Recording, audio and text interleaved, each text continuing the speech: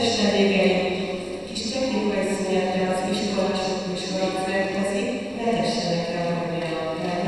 és mi nagyon köszönjük Pálunk jövőre